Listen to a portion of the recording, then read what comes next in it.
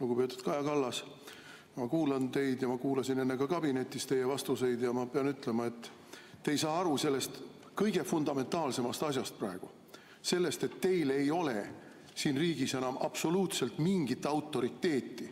Ja kõik see, mida te meile paberi pealt maha loete, mida teile jutupunktidena on ette antud, see on ametnike jutt ja see ei maksa absoluutselt mitte midagi, sest teil ei ole autoriteeti, ei moraalset autoriteeti, ei administratiivset autoriteeti, ei vaimset autoriteeti.